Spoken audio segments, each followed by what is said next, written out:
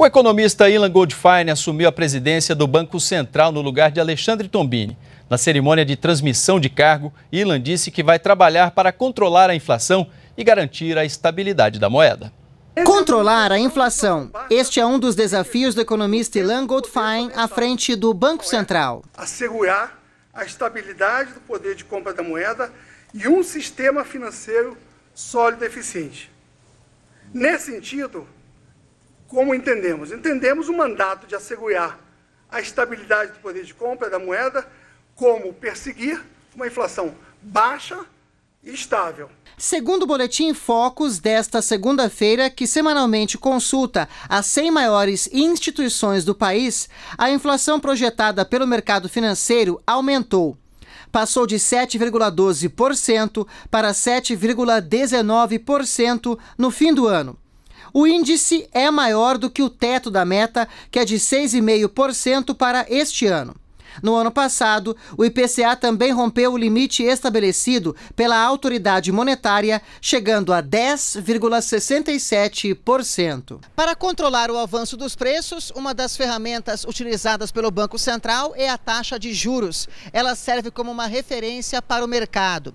Se a inflação está alta, uma opção é aumentar os juros, o que pode diminuir o consumo, já que parcelar uma dívida, por exemplo, fica mais caro. Mas, como na economia nem tudo é simples, uma taxa excessiva de juros também pode ter um resultado diferente. Ou seja, a economia pode parar porque também fica mais caro para os empresários tomarem empréstimos para financiar a produção e gerar empregos. Por isso, o governo trabalha para equilibrar despesas e receitas. Não há soluções fáceis. Os desequilíbrios não serão instantaneamente revertidos. Os resultados aparecerão à medida que mostrarmos capacidade de formular e implementar medidas que sejam compreendidas pela sociedade. Segundo Henrique Meirelles, o governo depende do Congresso para estabilizar as contas do país. Ele anunciou ainda que nesta semana deve ser enviado ao Legislativo uma proposta para limitar os gastos públicos com base na inflação do ano anterior. Nos últimos anos, vivemos a ilusão de que seria sempre possível gastar mais transferindo a conta para o futuro.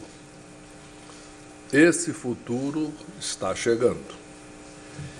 E é essa a realidade com a qual devemos nos confrontar o quanto antes.